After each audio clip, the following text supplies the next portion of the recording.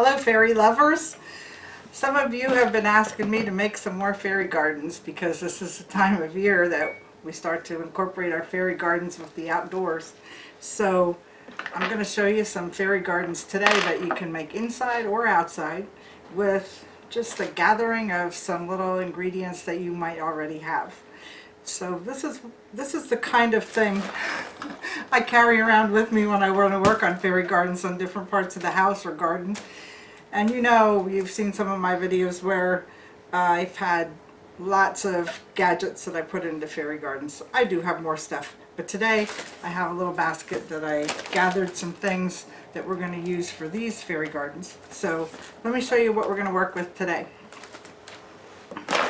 One of my boxes of stuff, if you're going to start making fairy gardens, you should start to gather some stuff. like maybe you went to the beach and you found some seashells, or you had some clothing that had some embellishments on that you don't need anymore, save them. You went outside, went for a walk, and you found some nice shiny round pebbles, or maybe somewhere out of a little stream. Pick them up and save them in your little fairy box. This is a nice way to save your things. I have a box that you can adjust the, the uh, sections.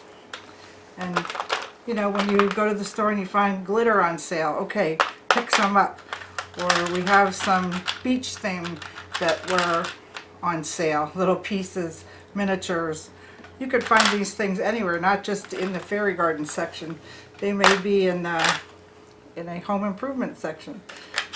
Um, there's some things that come from jewelry. and I just cut up an old necklace. Sometimes when you, uh, the beads you have break, you can save the beads.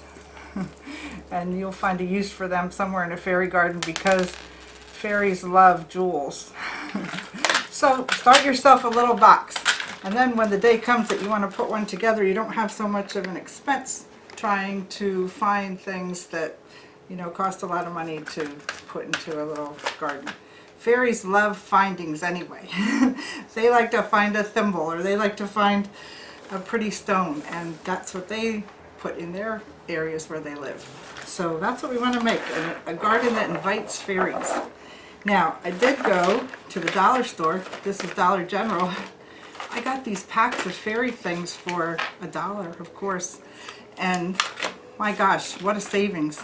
Instead of going to a craft store and buying a card like this for $8, we got the whole card with three pieces on for $1. Pretty awesome. And you can start to get creative as you think, oh, this fox might look good with that fairy and so on. Okay? And along the way I have some other bigger pieces. We're just going to hang on to them and see if there's a use today because we're going to design this as we go. All right, now in my basket here is more like tools.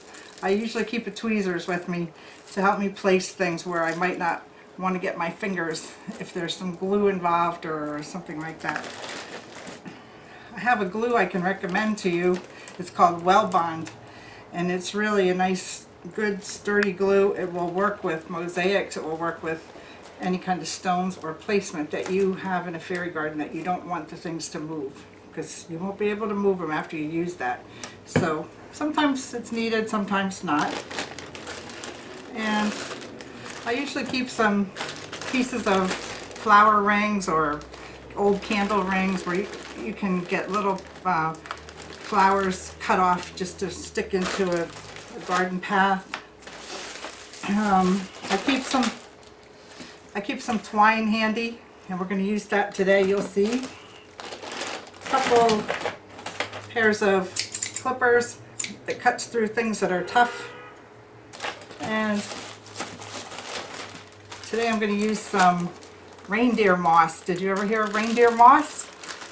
Well, it's a fantasy kind of moss, but it comes from real moss that has been colored and it's the kind that is very airy and fluffy. And when you put a piece of something like this into your garden, it just adds magic to the garden. So I bought a package of this, and it had all these different colors in the package. We'll find the right color for the right situation here. I also keep handy some seed beads. These are just glass beads. They can be any color, but they really reflect the light. So when we have the garden all finished, we might want to toss a few of those in to really dress it up. And then I keep a bag of stones handy, and these are glass stones. And I know if you have seen my fairy gardens, you see these kind of stones throughout. They can either be making pathways, or they can be making something look like water, dewdrops. A lot of uh, uses to get your imagination going. We have beads, we have everything. Please, if you're going to make fairy gardens, start your own basket of stuff. And it becomes so easy to put a fairy garden together. All right. Now, I also wanted to show you for today, I bought a special little treat. And anything that I have in here that I can share the links for you to find these things, I'll put them in my description box. Okay, this is a box of air ferns. Now, these are awesome for fairy gardens because you don't really have to plant them. And you see, this is a variety box. These are live air ferns. And I found that they're very hard to find locally. so I sent for them and I'll give you that link. But look at the different styles that we have here. These are all live plants. They just came yesterday in the mail. And they're beautiful. And imagine them situated with a fairy. This came with a misting bottle that you can use to keep your plants fresh. But they just need a drop of water now and then. There's instructions that come with them. Alright, I just want to show you them. That's one thing that we have to choose from that's really special. And what are we going to build these fairy gardens in? Hanging glass globes. Now I didn't open the box yet because I wanted to open it with you. Let's open this. Seems like it was packaged very nicely.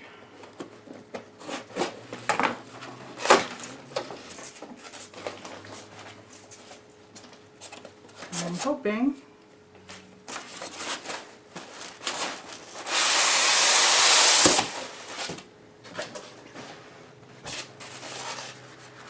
Wow, look at this. These are going to be the most special little fairy gardens. These are glass globes. They have a flat bottom, they have opening in the side, and they also have a loop on the top where you can hang them. You can hang them or sit them. So they're going to make really cute fairy gardens. Now, of course, we need small pieces for these. So I'm going to get these ready and I'll show you how to make a couple different themes in some of these little globe fairy gardens. And along in the package came some twine. So I don't need my twine that I carry around, but we can uh, tie twine on top of these so they can be hung nicely. Alright, we'll get three of them out here and we'll put three fairy gardens together. Alright, I'm going to start by taking some twine and tying that on the top loop so the person who receives this fairy garden can hang it if they wish.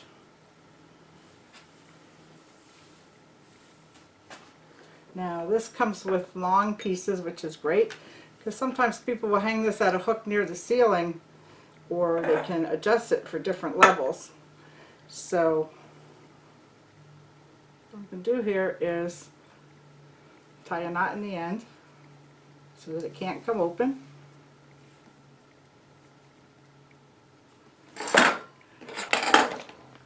And halfway, what's that? You having a snack? Brooke's getting hungry while I'm spending time making fairy gardens. Alright, we're just going to loop this through and then this way it won't fall apart. the person who receives this can adjust the length of the the cord to fit their situation. But if they don't want to cord at all, they can snip off the, the string.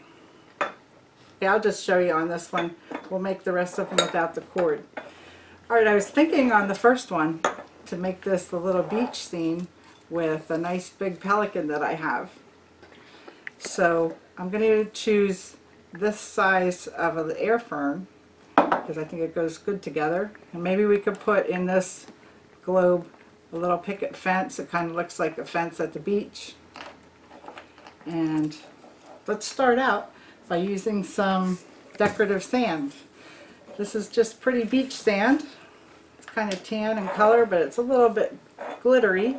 So I'm going to take this sand and just take a big spoon and put it inside. Now if you think you're giving this fairy garden or you have it in a place where it's going to get a lot of uh, traffic or people picking it up, you might want to glue some of these things in. But in this situation, I like to keep them without glue if possible because I often change my fairy gardens around. Get a different idea and you see a new fairy and you want to try something different, then you can still use the same globe over and over again. So a nice healthy amount of sand in here will give you something to sit everything in. Just don't go up as high as the doorway and you'll be okay.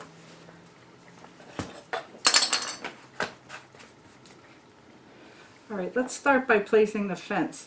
Now this is a little piece of fence that I picked up along the way in one of these fairy garden supply stores and you can see that it has a wire woven in between all the pickets. So we're just going to form it the way you want it to be inside this globe and put it in there. I think in the back would be nice and if you stick it down into the sand it stays pretty stable. Then we'll take the pelican, which is pretty big guy here, but he fits.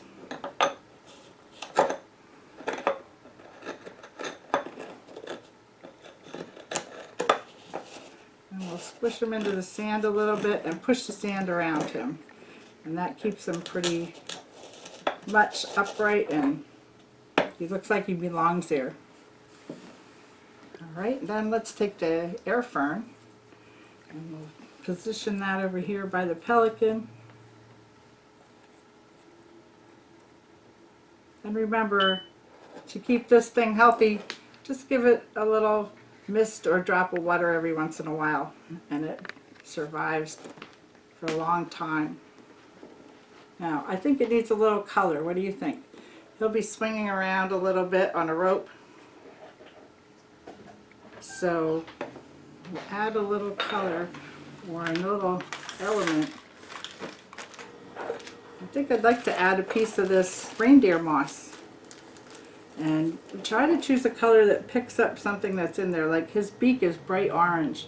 So I'm just going to pinch off a little bit of this orange reindeer moss. That's what's nice about having some variety around at your house. So you don't have to start at zero every time you want to make something. You can just take a pinch of this and a pinch of that. So, see the, the reindeer moss looks like reindeer antlers if you open it up. That's where it gets its name, I believe. So, I just want to make a skinny piece here. And we'll push this into the side. I think that dresses it up. Don't you see how that picks up the color off the beak? That's pretty sweet. I think that's cute. Alright, there's one. Look how easy that was. Just a few little pieces. Let's set that aside and work on the next.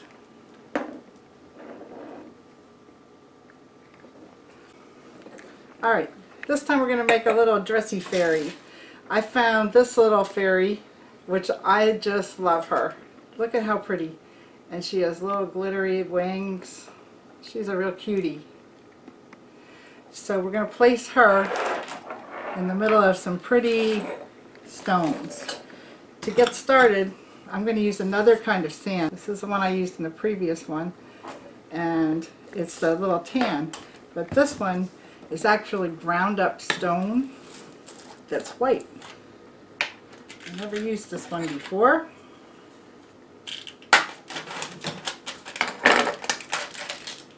But can you see how it glistens like glitter? See how nice and shiny that is? So again, I'm going to use my spoon and we're going to start by giving it a base. I think when we have this kind of gravelly, sandy base, it gives you a good place to sit things. It keeps things from rocking around. Alright. Now, the most important part is the fairy here. But we're going to give her some pretty stones to sit on around her. So I would like to add some nice glass stones. See if we can find several here the same color. Now sometimes if you put a lot of blue stones together, it looks like they're in water. So we're going to stay away from the blue stones for this one. But we want to make it like nature, so we're going to add a couple of tan, light color brown. Some of them have some nice iridescence to them, and we can mix them together. Kind of like that. So let's start by putting her in near the back. Then we'll add some nice stones now. Sometimes that little tweezers I was telling you about comes in very handy.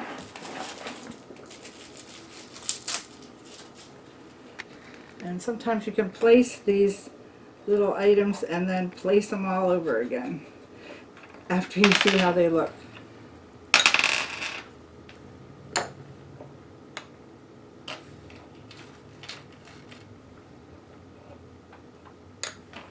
You can change your mind. That's the nice thing about having something that's not glued in there. You know, a lot of times I think little fairies should have friends with them of some kind. And I think this little fairy would like to have a fox.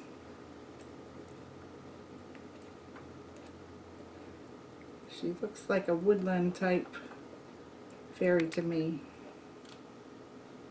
So right beside her, we're going to take one of these Dollar General foxes.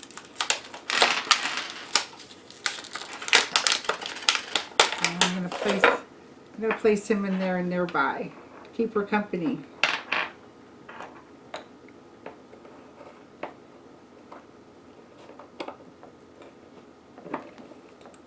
Alright. And we'll brighten up one stone right here. Now, a very small globe like this, you don't need a lot of things, but you have a couple things that add interest there. So what else could we add? We want to add an air fern with her. Let's see if we have a small one.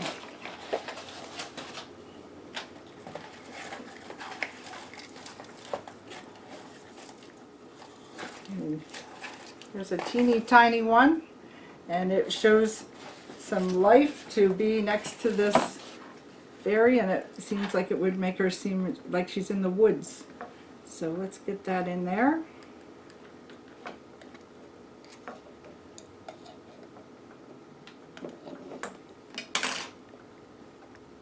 I'd like to put it a little bit behind her, so let's move her, let's move her out for a minute. Get this guy in.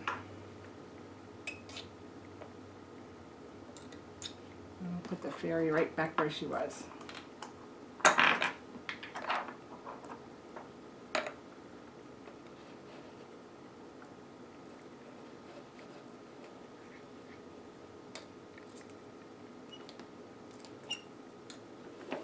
Alright, this way you can reach the fern if you want to put a sprinkle of water in there.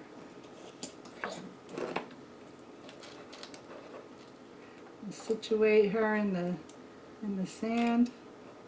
Now if we want to make this look a little bit more like it's in the in the woods, we can add colored beads.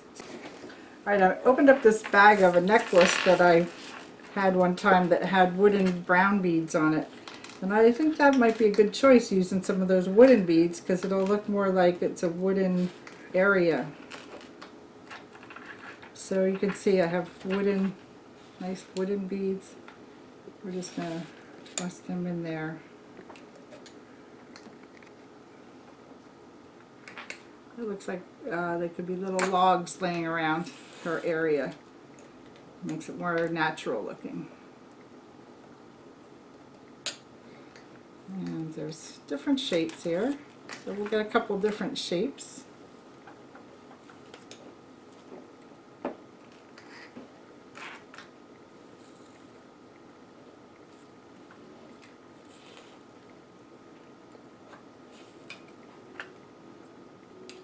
All right. How do you like that one? She's a cute little woodland fairy.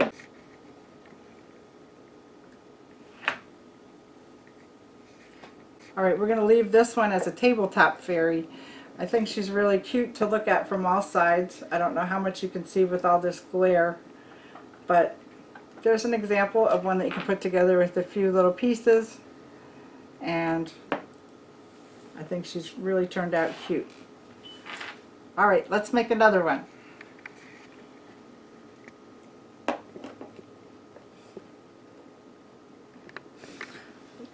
You having fun? I'm having fun. Fairyland. I'm having fun. We're going to make one more here for you. And this time I'm going to use one of these little fairies. Again, think of it three for a dollar. That's pretty nice. Or you can choose uh, something else that you like better. That's fine. But this is a really cute set here. I don't know, maybe they'd like to be together in there, some of them. Two of them have yellow wings. Maybe they're sisters. this is so much fun, you just have to do it. if you need a break for your imagination to go crazy a little bit, try it. It's so much fun. Alright, we'll, we'll put the sisters in here. Reminds me of me and my sister, reminds me of my nieces, Autumn and Ember. They're twins. Awesome. Alright, put a little sand in the bottom. It works good for getting us stabilized here.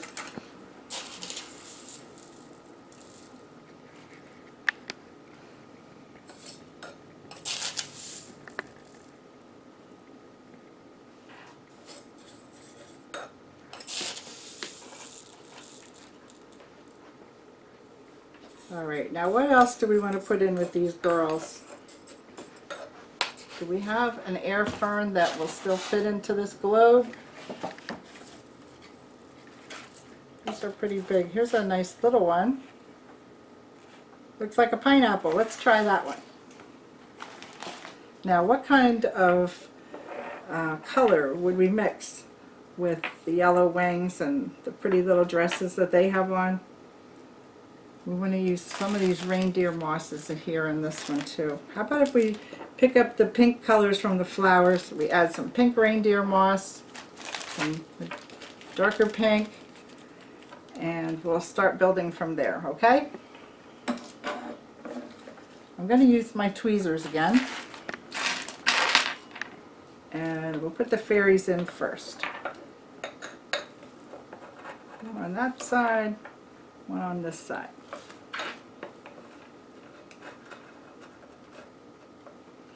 And then we'll take this nice little air fern. I know Rick's really good at getting nice close-up shots so you can see this stuff real close. We'll put that right back there in the middle. Alright, they're sweet. Now a little bit of this pink to get your eyes rolling here on these girls. Look at that nice piece. This stuff is so neat. It's soft and flexible and you can put it any way you want. So we'll put this across the front.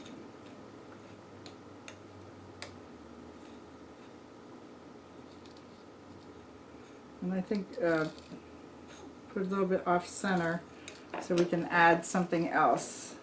Need to add something else there.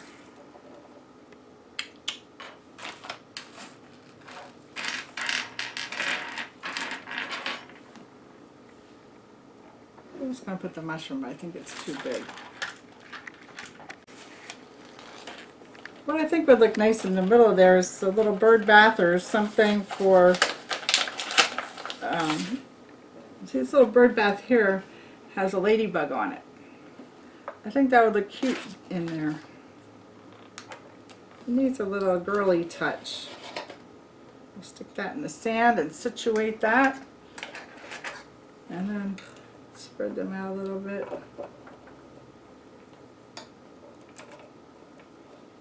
Now that's a nice little area for fairies to play. Reading their books and playing with flowers. Well, they are really sweet. And again, we can tie a rope on this if you'd like. Let's take a look at the three together. Alright, I think we have this one looking good. Let's put the three together. Now all three have air ferns. Tell me, Rick, can you see them without much glare? Yep, Is that a good angle? look good. Okay, these are great little gifts that you can give to someone, or they're nice for you to create just for yourself. Also, it's such a relaxing thing. It's like making a Zen garden, and it's so much fun to create. And they're very simple, as you can see. Just gather a few things that you can just sit down and work on them whenever you feel like it. And maybe you want to change one by next Friday you can make a new one. It's so easy to change them around. So have fun with it. Get yourself a couple little globes if you want to try this method. Maybe you want to try making some little globes like this. It's kind of a different little fairy garden. There's so many ways you can make them. And have fun with it. It's, it's really great. Thanks for watching.